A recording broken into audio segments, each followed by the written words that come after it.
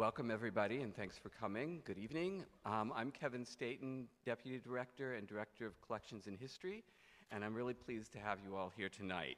Uh, tonight, we're thrilled to open Disguise, Masks, and Global African Art, an exhibition that connects the work of 25 contemporary artists with historical African masquerade, using play and provocation to invite viewers to think critically about the world and their place within it. By putting on a mask and becoming someone else, artists reveal hidden realities about society, including those of power, class, and gender, to suggest possibilities for the future. And I know we're all excited to hear what some of these artists have to say uh, about this subject in just a moment. But first, I want to take a minute to thank the terrific lenders to the exhibition who make the exhibition upstairs possible, uh, including Jerome and Ellen Stern, Joseph Viscovich and Lisa Goodman, Jack Shainman Gallery, Jack Bell Gallery, uh, Palazzo Gallery, Stevenson Gallery, Marianne Ibrahim Gallery, Moran Bondaroff, uh, Zaire Smith Gallery, Leila Heller Gallery, Susan England Gallery, Sam Hillieu, John and Nicole Dintenfass, Gaston T. de Havenon, Susan Vogel, Corice Arman, and Eugene and Harriet Becker, as well as many of the artists themselves. Oh, sorry. if I forgot anybody else, it's not because we don't appreciate you, it's because my list is wrong. um, I'm also pleased to thank our wonderful donors, without whom this show simply would not be possible. JP Morgan Chase and Company, and Jerome and Ellen Stern. And now it's my pleasure to invite to the stage David Bigelow, Senior Vice President of Morgan Chase, to say a few words.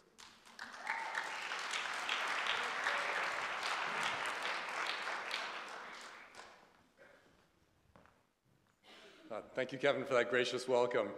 Uh, it's great to see so many proud supporters of the arts. Uh, JP Morgan Chase is honored to be a sponsor both last year of the Oyer uh, exhibit and also now Disguise. And can I say I was just up there for the first time and it is just a remarkable, remarkable uh, exhibition. It is so powerful, so mysterious, and, and yet so instructive. And I'm just, I'm just really pleased that, um, that this has come together in, in such a way. Uh, when I think of the Brooklyn Museum, I think, think of its connection to the community, its connection to the world beyond Brooklyn, uh, the, the international world, Africa, the African diaspora. Um, it's a remarkable institution. And this exhibition, I think, really exemplifies the best of what the museum has, um, has, has shown us it can do. And we're, we're thrilled to be here as sponsors. Thanks very much.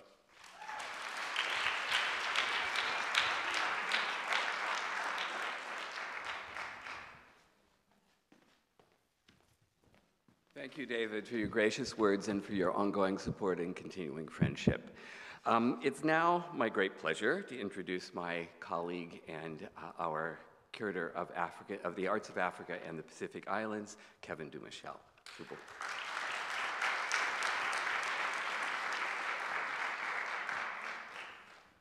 Thank you, Kevin. Um, welcome, everyone. Um, I, tonight, I'm really, truly delighted to welcome you to this evening's opening of Disguise, Masks, and Global African Art on view in the fifth floor in the Special Exhibition Galleries. It gives me particular pleasure to invite you to an exhibition that so beautifully connects the historic creativity and dynamism of African masquerade with issues that could not be more immediately re relevant today. The metaphorical thread that connects all of the art in this wide-ranging show is the idea of becoming. By putting on a mask and becoming someone else, the artists in this exhibition reveal and reinvent the hidden truths of the world around us. While Brooklyn is proud to be home to one of the largest, oldest, and finest collections of African art in the country, collections, like masquerades themselves, are dynamic things. While preserving an integral and essential link to our shared past, our interpretations and understandings of collections must also evolve in thoughtful dialogue with the communities to which they speak and I'm proud to present our installation of Disguise as part of our ongoing efforts to at once revitalize our African collections and to challenge us all to expand the horizons of what global Africa is and can be. I'd like to second Kevin's thanks to our dear friends uh, Jerome and Stern, as well as JP Morgan Chase for their tremendous support of the exhibition. And I also want to continue to thank our uh, trustees, particularly Elizabeth Sackler, our board chair, and Stephanie Ingrassia, our board president, um, for their, their continued support um, that allows us to present exhibitions like Disguise.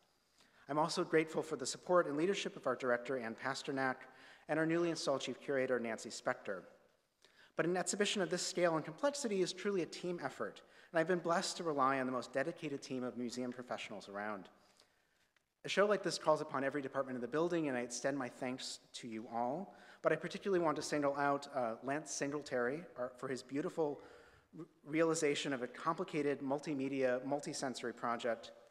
Um, Alicia Boone, manager of adult programs, for, and her entire team for putting together a really killer set of programs that complements this show. I have to give a shout out to our amazing team of art handlers, uh, painters, carpenters, and electricians who pulled off this installation in what felt like record time. I mean, if you've been around the building, you've seen that there are major changes that have been happening throughout our galleries. Um, and we've really been pulling, pulling out every stop to make uh, all of the changes in the, in the building uh, possible in this exciting, quick time. Um, and I, of course, have to thank Megan Bill, our curatorial assistant, who's kept my office running amidst all of this chaos. While many of the disguised artists are Brooklynites through and through, the show, of course, was originally born out west at the Seattle Art Museum. And we owe curators Pamela McClusky and Erica Massaquoi considerable thanks for their vision, drive, and leadership in dreaming the show into existence in the first place, and for remaining such collaborative and collegial partners in allowing us to take the reins and, like Masquerade itself, to imagine Disguise's performance in a new environment. And so I really thank you both, Pam and Erica.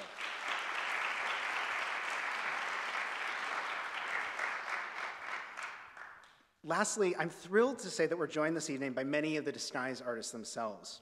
I'm going to read off a quick list of the names of the artists involved, and can I just ask that any of the artists who are here in the room rise and be recognized, and we'll thunderously applaud them all at the end.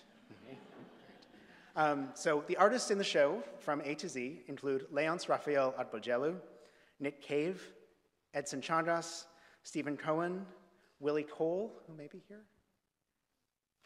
Jacob Dwight. Yes. Hasan and Husain Essop, Brendan Fernandes, we'll hear more from in a minute. Alejandro Guzman, um, Gerald Machona, Nandipha Mntambo, Jean-Claude Jean Moschetti, Toyin Ojih Odutola, Emeka Ogboh, War Natasha Odunji, Walter Oltmann, Sondra Perry, who I know I saw. Sondra? Uh, Zina, Zina Saro-Wiwa. Uh, Jacolby Satterwhite. Paul Anthony Smith. Uh, Adejoke Tugbiyele. Back, yes. Ike Ude. I saw here as well. Yes, thank you for joining us. Sam Vernon. William Villalongo, and of course, Saya Woolfalk. We thank all of our disguise artists.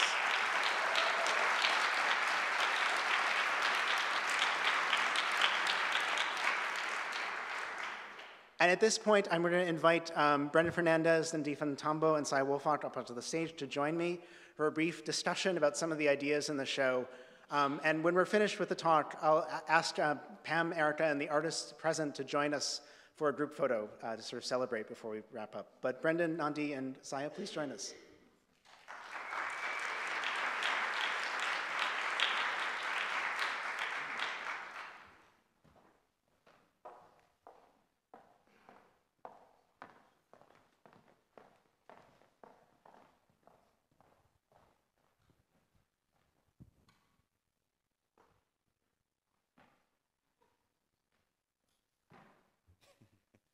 Well, thank you all for, for taking, taking a few moments out of an exciting celebration tonight of your work and of the ideas here to talk a little bit uh, about, about what the show, show is, is attempting to convey to our visitors.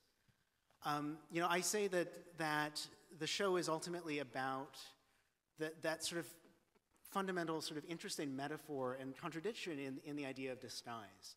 That by concealing one's own identity, by, by becoming someone else, you can reveal a truth that is hard to speak, uh, perhaps impossible to speak um, in, your own, in your own persona. And I was wondering if, just by way of introduction of each of your sort of backgrounds and works, if maybe we could talk a little bit about how your work sort of plays with this idea of hidden truths. Um, maybe I'll just start. Sure. Um, a lot of my earlier work or uh, and work as it, as it kind of um, functions now is like sort of based on the kind of question of authenticity and the sense of self and being born uh, Kenyan, um, Indian, fifth generation, born in Nairobi, lived in Canada, lived in the Caribbean, in Trinidad and Tobago, living in um, in currently in Brooklyn. The kind of idea of where is home, like the kind of idea of like making this kind of like narrative, the kind of cultural trajectory that identity is not static. Identity is constantly in a transition of being in flux. So when you talk about becoming, it makes sense to me because I feel like in the process of just being, uh, my embodiment is in a constant change of transition. So I feel like we want to define it. We want to say that it is um, one specific thing. Like I always get asked the question, are you more Indian or are you more Kenyan or are you more, are you more Canadian? But I'm always like, I am all of those things. And in that, I'm also changing. Okay. Yeah, it's always really fun to be on a panel with Brendan. uh,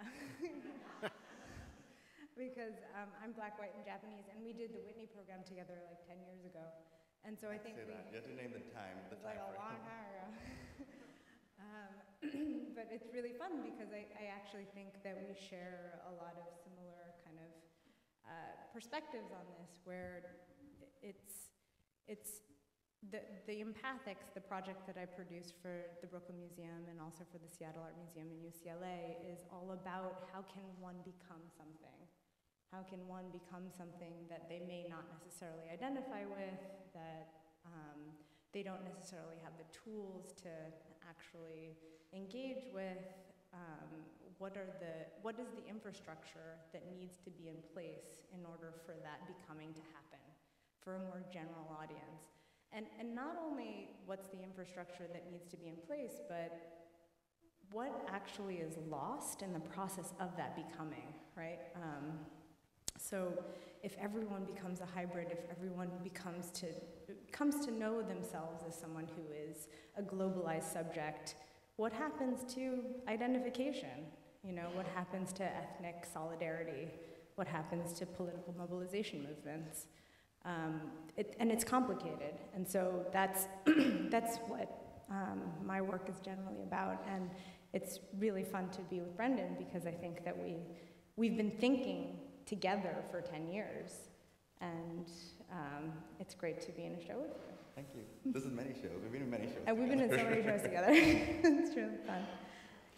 Um, well, I suppose for me, the work that I've been creating over time has been centered around mythology and, um, and imagined reality in a way. I've always been interested in the boundary between the animal human and how within different types of mythologies, depending on, um, I guess, what culture you're from, uh, there's been this intersection of the animal and the human over time. And so I'm trying to understand that boundary between the two and also aspects of oneself, because I think the thing that human beings try and separate ourselves from is our animalistic element, or those, those parts of ourselves that we can't really um, articulate or don't really want to deal with at times. So my interest has always been that in between uncomfortable space of attraction and repulsion, and um, I guess the tension that happens where you can't really figure out whether you really like something or whether you really don't. So um, yeah. which, which is sort of fundamental to the, the, the, one of the sort of basic sort of processes of masquerade, which is this sort of uncertainty and um, this sort of uncanny moment that happens where you sort of enter a space where suddenly the, the normal rules don't apply and you're, you're invited to sort of think uh, critically about, um, about, ide- about ideas in your relationship to the world in, a- in a new and different way. Um, and, and this, this, this issue of, of, of identity and sort of understanding oneself in relation to, to your, your, your, your world is really sort of one of the other sort of key themes that sort of emerges in the show that um, you know, I think the title, uh, Masked and Global African Art, is really quite interesting and quite um, revealing in a way because each, each of you comes to this um, exhibition of African art from very different sort of backgrounds. And I'm just sort of, I'm curious sort of what, what being in a show of global African art means to you. Well, I think it's quite a complicated answer because uh, I guess, you know, I've lived in Africa all my life. I'm from Africa.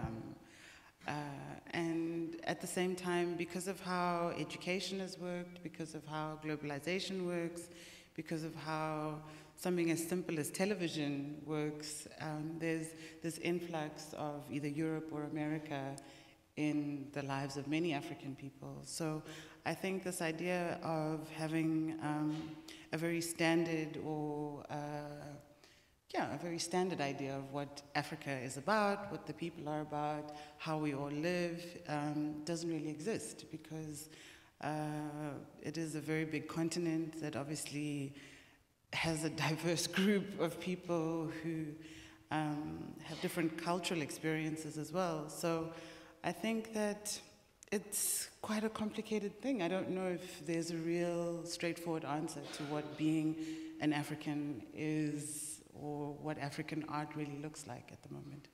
Yeah, and I think I totally agree with that. I think, you know, for, for, for years, like, you know, growing up in Kenya and then moving to Canada, um, even like as a young boy, there was this idea that Africa was this cultural monolith, this place of the exotic, the primitive, the other. And for me, it's to break down those stereotypes, to, to, to say that we are a continent that is diverse with very specific kind of cultural histories and post-colonial histories, and to kind of like extend that and to give a voice to all of Africa. So when we still say Africa, we need to like kind of think about it as this more diverse space. And I think a show like this is, is doing that and giving it from a contemporary um, viewpoint. And I, I think that's what really excites me to kind of come together in a sense of solidarity to kind of give all of our voices, but to have one voice at the same time as well. I'm also really excited that um, the, this idea of the diaspora is really embedded in all of our works.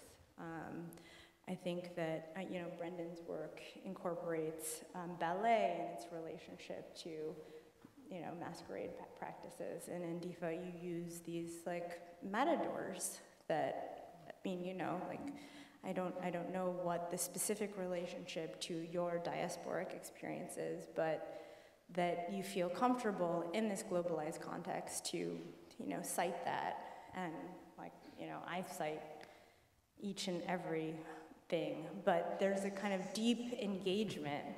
You know, I, I, I think that's actually like the, something really, really exciting about all of our work is that we all really research and engage and deeply respond to something And respect. and respect the thing that we're citing and thinking about. And we, we consider it as um, it's like an intellectual equal, right? So, so something that was really important to me in, in the show was that um, the Sowei helmet masks were identified as technologies, right? It was important that it wasn't just a citation. It wasn't just a like, oh, look, this is a cool thing, and I'm just gonna like make something in response to it. That it's a, it's a technology that helps people transform from one form into another. And so the empathics and ChimaTEK actually use that, uses that research, that history, to think about what the potential for that history and that research is into the future. I think we all do that. Mm-hmm. You know, it's, a, it's, not, it's not just a, it's not a bricolage, it's not just, oh, look, this is cool. Yeah, it's not about the tropes. It's about you know giving a voice to those to that History. space and, and history. Yeah, of course. Well, and- actually, I mean, that was, that has been really one of the key sort of areas that I've really wanted to focus in our presentation here in Disguise, of, uh, here at Brooklyn, is connecting your practice to the practice of the artists that are represented by our collection. Um, and, and, and I mean, and, and Sai, you, you've sort of spoken to this a little bit already, but I'm, I'm curious if you, how you sort of feel about, about that relationship being made more explicit um, in relation to your work, because it's a very particular way of framing your practice, and it's not one that is, that, you, that is typically sort of done when you show in other galleries and other museums. And so I'm, I'm, I'm curious kind of what you feel is gained and lost in, in that sort of presentation. Well, I think for me, like the, the idea of like actually having the, the you know quote unquote the artifact beside the work, it's it's an interesting juxtaposition. You know, you have a contemporary voice sort of speaking about it, and for me, I'm always curious about. You know, I've always worked with collections. I work with the archive, and I'm always thinking about the fact that African objects in museum collections don't have artists named to them, and so the kind of question of identity, the lack of identity, the kind of way, the, the idea that objects um, have you know very you know fickle provenance reports because we don't know where they came from because there's, then there's that idea that they can be returned. And so I use that by analogy to then to speak to my sense of self or selves. And so I think for me to, to juxtapose that, it creates a stronger narrative. It kind of, it kind of has this, um, this almost collaboration between the 2 And I think that makes it more, um, for me, it's a strength. Um, but I'm, I, I I think it's, it's not always the case that we're able to work so close with the collection, but I think it's really important. And I think this is the one thing that this exhibition from Seattle to the Fowler to the Brooklyn, to work with like three different collections and to kind of see how they all are also so similar in the way that collectors would be certainly bring works in from certain parts of, of mm-hmm. Western Africa and what was popular, what wasn't popular, and to kind of think about like then how that becomes the trope then, and how we can then now, I for me and for all of us, how we're breaking that down in the work for sure. My next, is that me? I don't Or- know. it's the line. Um, so, uh, from my perspective, you know, it's really similar to Brendan's. I, I come out of a tradition of institutional critique, and I'm really interested in museum collections as a space of, you know, narratives that, you know, historically were important in a specific way, and how to reimagine those historical narratives.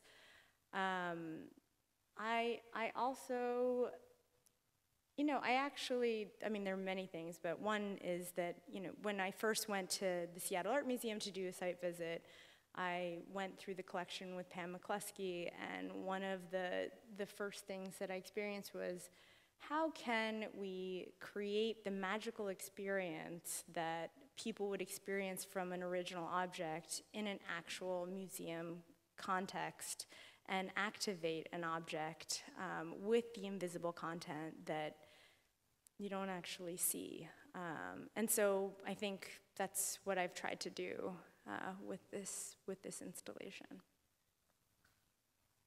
Um, I think, you know, I stand on the fence here in Okay. a way because, on one hand, the artifacts that we have in museums are, you know, like has been said, from a very specific lens.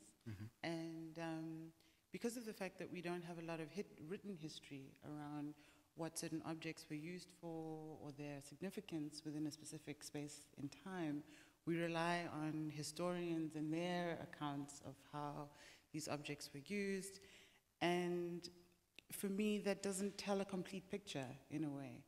And so, within a contemporary context, because we're all still alive and we're able to articulate on many levels how we want our work to be viewed or what we want um, a viewer to take from what we are showing, um, we're on a different level in a way. So, um, for me, in as much as there's a lot of strength in having these objects as part of the show, um, there's also a weakness in that a lot of the message, in a, in a way, has also been lost. So the, the bridge isn't really complete in my thought. Yes, no, I think that's, that is fair. I mean, I think, you know, the- if anything, we're asking you as, as the contemporary artist to reach farther than is, than, than is fair in a way, or what Yeah, but what but what if it's we're asking the audience to bridge that gap, right? Like maybe like the audience can. I mean, it would be really exciting if the audience could stop thinking about the historicization of an object and start thinking about the activation of that object, right? And not just in its original context, but in its, you know, like w- what would it look like to have contemporary masquerades, which is what you're doing with your work, right? But we're able to talk about it in a very clear way, whereas the, the mask that was collected from 18 whenever doesn't really have the same voice. So for me, um, I think that's the, the sort of issue that I'm speaking on. The fact that we're able to activate a viewer to be able to view something in a particular way, Yeah. whereas that object doesn't necessarily have the same voice. that same agency. Yeah, yeah, but what if, what if it means that in the future and as we move forward, the assumption is that object does? I mean, that's, that's actually how I like think of these projects, is that they're micro transformations, that they're not, you know, you, you know, sure, a whole overhaul of a system is fantastic. Like that would be fantastic. And and I think there are a lot of in my research for the show, there were there there are many museums that are attempting to produce the actual ritual within the context of the museum.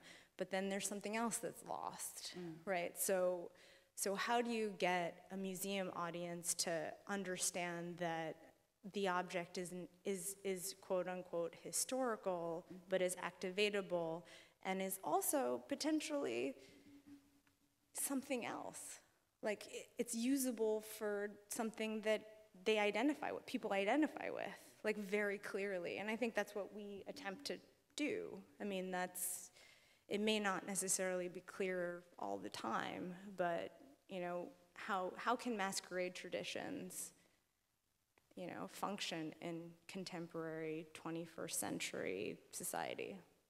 But also thinking about how, you know, what was lost. You know, we were talking about loss in the beginning, or you mentioned the, the, the, the kind of process of loss through the idea of becoming, but like the, the, the object being placed in a space away from its origin has lost something, like that, that masquerade. I think that's what is, what is the purpose of this, the main purpose is that those dances aren't there. And like in my work with ballet, I question the, um, I'm a former ballet dancer and I work a lot with the kind of questions of how ballet has no language. And so in the past, we've lost those historic dances. And so I kind of conflate those two, but then look at it through the post-colonial narrative of how the French colonized and kind of use that as two kind of forms of dance and I kind of put them together. But the kind of idea that there's always that lost process, that, you know, that we can't, you know, so I think almost like we're the archive right, now, right, maybe, like the archive is something to think about, and maybe how perhaps the camera or the document of how we document things is the way to re- reperform. I think we're thinking about performance now and reperforming because th- we don't, you know, I, I feel like in all of my work, I want to install the body or instill the body back to those masks. Mm-hmm. But those dances, historically, we don't know what those dances are. It's like ephemeral. Yeah, I, well, and, and I mean, I, and I think what I, what I love about having your work here in the, in the museum in conversation with these collections is that it's, it, it actually does sort of make, invites our visitors at least to understand that there's something kind of strange about a museum, right? I mean, particularly in looking at African art in the way that we look at it here. Well, I think when you talked about animals and the kind of idea of like the kind of humanness of, of, of how we kind of juxtapose ourselves against like, you know, that, you know, the primitive beast or something. It makes me think, I grew up in Kenya, my father worked in the safari industry and we'd always go on safaris as children and one thing that you had to see was one animal kill another. And you, it was this kind of idea that you, in safari, you must watch an animal kill another. And I was always like, that's such a weird experience. But I think that, because there's that primitiveness that we still embody, but in the museum, we're choreographed. We're all told how to act in a museum. Don't touch, don't speak out loudly. And so I also feel like the masquerader, when they become, they become, you know, outside of their body. They can act badly, and they can act, they can misbehave, they can do the sort of thing. So I think there's something interesting about that, and really making them back, bringing, touching back to the idea of the animals that you were mm-hmm. talking about. Mm-hmm. Yeah, I was excited about your hides. They're so amazing. They're so fantastic. Thank you. Like a reskinning and, and the kind of human under the skin of an animal. That's like so intense and amazing. Thank you. Really Um, exciting. I mean, one, one question that, I, that I'm, I'm sort of just curious to ask each of you, because each of you have been involved in the show from its, from its inception in Seattle in a really sort of deep way, is sort of how your work has evolved over the last two or three years in relation to your, your, your participation in this project. Have you seen the idea of masks and disguise and becoming sort of infiltrating in new in interesting ways in your work? Or? Or, or not. Um, you know, I think being an, a, a sort of working artist in a way means that you're always in flux. So there's always changes that are happening within how you think about yourself, how you deal with your artwork. And um, I think for me, being part of a show like this has been really interesting in that when I first started making work, I was very resistant to um, shows or categorizations that had anything very specifically to do with being African. And that was because I felt that it was too easy too easy a category to put me into, you know, um, because I mean, obviously I'm African, I, I'm from the continent, I look African. So it seemed to me that a lot of curators and I guess critics at the time felt that it was the easiest thing to kind of have me on all these African shows.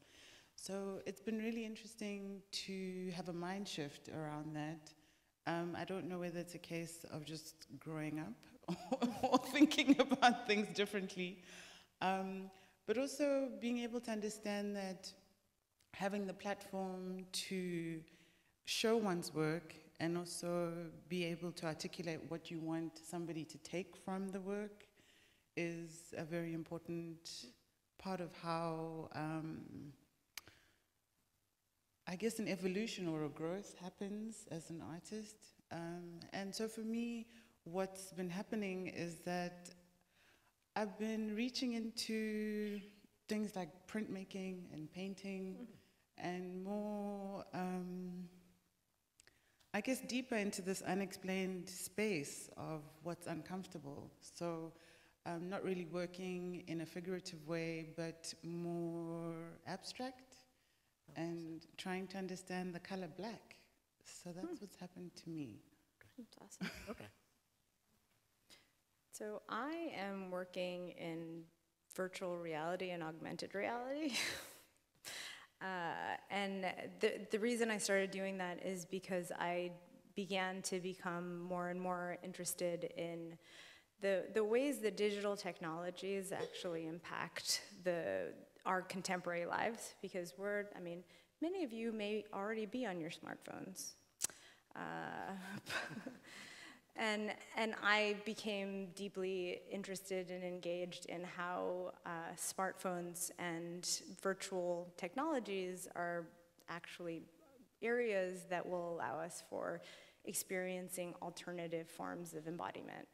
Uh, and so I'm working on a project uh, with Lower Manhattan Cultural Council, which opens at the Fulton Street Terminal. It was announced in the New York Times today, um, which uses an augmented reality app that engages performers uh, with virtual sculptures, uh, which happens in tandem with a big project at the Times Square Jumbotron monitors. And so there'll be performance that happens in relation to the kind of consumer landscape that the consumer advertising landscape that we're all very deeply accustomed to. So thinking about consumerism as a form of digital masquerade uh, and attempting to, you know, create new potentialities for that form.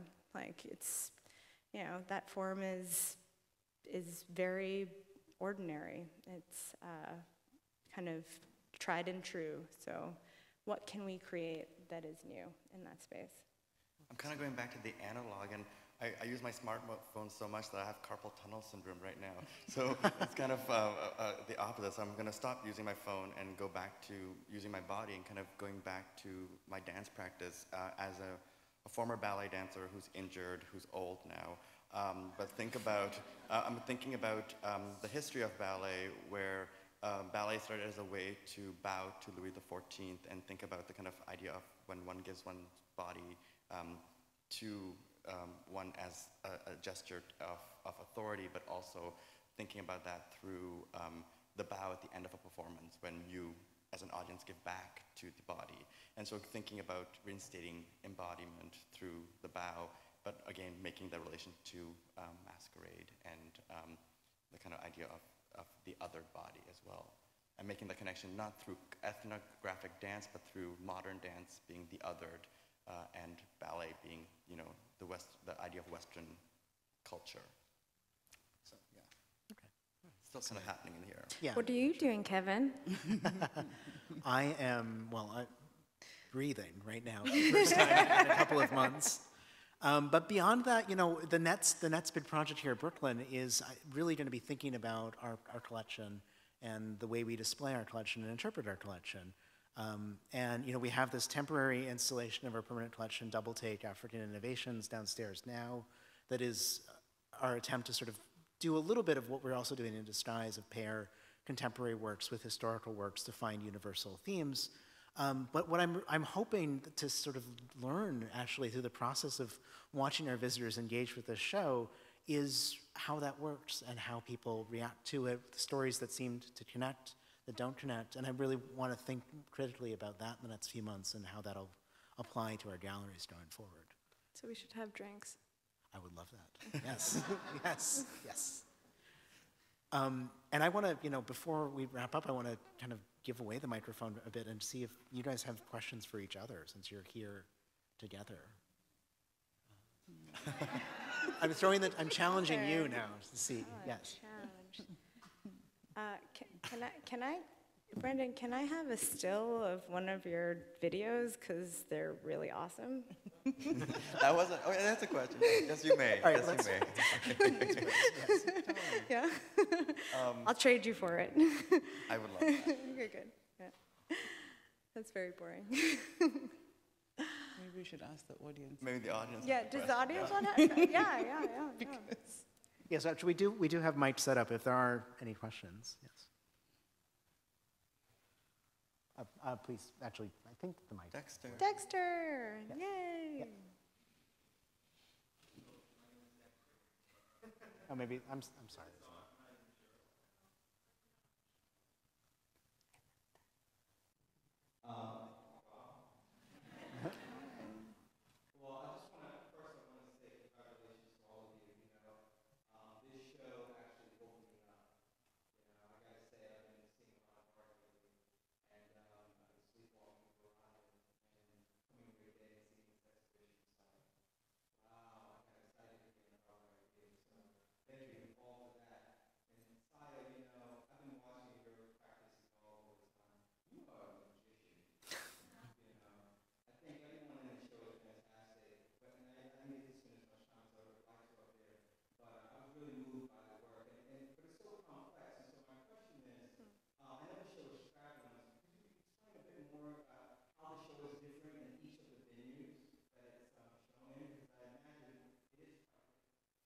Sure. Um, so, something I really enjoy about a traveling exhibition is the opportunity to speak to another collection and speak to another curator. Um, so, each curatorial vision has deeply impacted the way that the iteration of the project has actually actualized itself and how I imagine what the project looks like. Um, so with Kevin, we created a new didactic because he really wanted to put this very specific series of masks in the installation, and so we kind of imagined together what that might look like. We had a series of studio visits, and it was really fantastic. With Pam, where's Pam? Pam, yay! So with Pam, I visited SAM and had tons and tons of conversations with her and figured out like what this could look like within the context of her originating vision.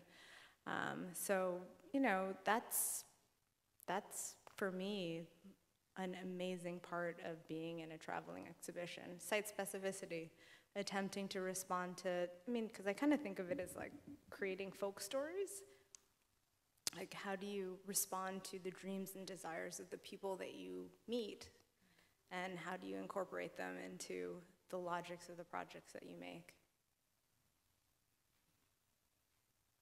I, I would agree, totally.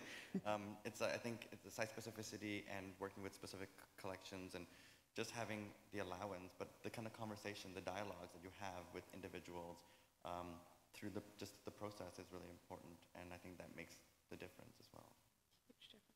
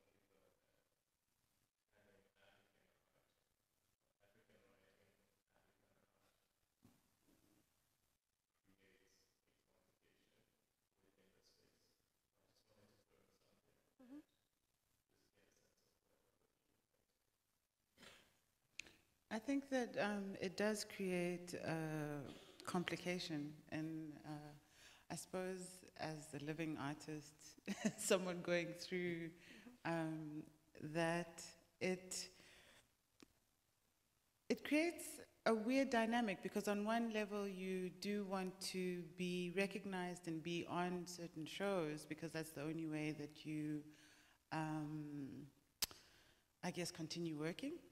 Uh, but then on the other, you also don't want to feel like you're being ghettoized on some level. So it's a complicated um, space, and it's made even more complicated if you as an artist don't make the effort or don't find the language to be able to speak on how you'd like your work to be viewed or how you want viewers to understand what it is you're doing. So um, I think that Unfortunately, the categories can't really disappear in the time that we would all like them to, but it's even more problematic if you don't allow yourself to become available to have conversations such as these so that you can make your voice a little bit clearer. It's a, it's a really good question. Um, I, I- you know, I, I also think that um, more specificity would be better. Like, not like, okay, so we have a show that is in response to African art. So can't we have shows that are like European art? I mean, I don't know. Like, I'm totally down with more specificity. Um, Or would that be in the other direction, a show inspired entirely by Mende art in that, in that sense then? Or pardon me? specifically a show inspired by Mende art to move in the other direction? It could be, it could be a show that, but what I was actually trying to articulate is, um, you know, when you have an exhibition which is dominated by European American artists, to specify their specificity. I see, yes, okay. You know, why not? Yeah. I mean, they're specific. Um, there may be a resistance to that, but descriptively, it's just as specific as anything else. Um, I, and, and this is coming from someone who believes that, you know, specificity is something that is deeply malleable and, and changeable and shifting constantly. So um, I don't think that, you know, African art or European art or American art are categories that are unchangeable over time, and that's the reason why I identify as a part of institutional critique. Because the institution needs to be adjusted in relation to the shifting moments of its time. Um, but simultaneously, you know, why not more specificity? You know, why not? And historically, I mean, that has actually been part of the role of African art in the Encyclopedic Art Museum, which we now sort of expect as normal and as, as the sort of standard, but we have to remember that 50, 70 years ago was, a- would have been a radical gesture. I think, should, I should actually say I mean in contemporary art. Okay, Yeah, maybe I shouldn't say the, because there's a, um, you know, in contemporary art, so Tom Sachs is downstairs. Tom Sachs would never be identified as a white American artist, but he is, right? Sure, yes, yeah. White male American artist. I think in my my thing, I think it's about the idea of like like non-defining because like I am Kenyan, I am all of these things, but I I happen to be in this show and it's defined me under these these pretenses. But I'm, I'm more interested in like playing on the idea of like queering, where we kind of are more you know influenced by many different things. So like I think subculture, like for example ballet, as I've mentioned many times, is part of the work. But also like for me, growing up in suburban Ontario, outside of Toronto, punk rock music, those kind of other kind of things have all influenced and, and created the, the person I am and continues to evolve. So for me, it's about non-defining um, and being, you know, thinking about it through like a queer culture. Which is a whole other panel, actually. Yes. I would a- love to have, actually, in that relation to next. the show, too. Um, I think we actually probably need to, to wrap up, but I want to thank Nandi, Saya, and Brendan for joining us tonight.